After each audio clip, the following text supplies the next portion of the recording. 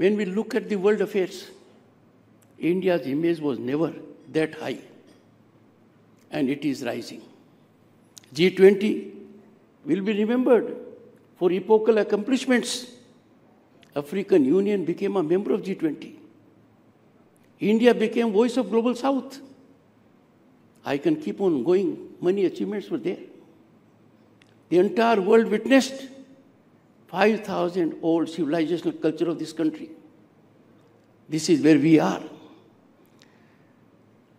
India in the world is the only constitutionally structured democracy that is at all levels at the village level, at the municipal level, at the state level, at the central level. We have robust judicial system. In such a situation, we are obvious. I emphasize, India is obvious pacemaker for global peace and harmony. Friends and Mr. Sanjay Pugalia, in such a scenario, media is eminently suited to be an agent to convey right perspectives, to understand India, rather than be prey to orchestrated narratives seeking to taint, tarnish, and demean our image and institutions.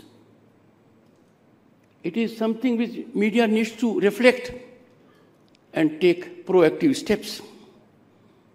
Democratic values optimally blossom and flourish when there is equality before law, when there is accountable and transparent governance, where patronage, nepotism, and favoritism have no space.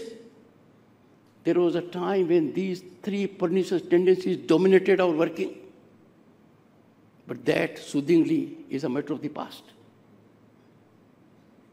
Privileged pedigree has disappeared. Equality before law is writing on the wall. Those who thought they are immune to law, they are above law, they are different than others, have realized it to their pain. What can be greater pain to a human soul? Young boy and girl living in the largest democracy, that some people are more equal than others. They are more privileged.